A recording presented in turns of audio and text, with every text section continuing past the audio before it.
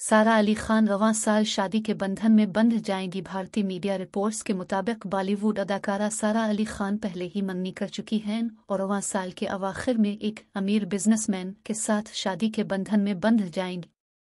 एक भारतीय अखबार की रिपोर्ट के मुताबिक रीडेट सारिफ के दावे के मुताबिक सबक मशहूर जूड़े सैफ अली खान और अमृता सिंह की बड़ी बेटी सारा अली खान ने एक अमीर बिजनेसमैन से मंगनी कर ली है।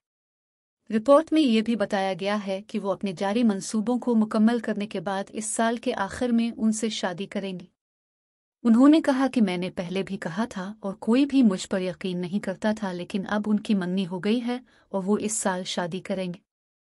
सारा ने कोई नई फ़िल्म साइन नहीं की और वो अपनी शादी की तैयारी शुरू कर देंगी।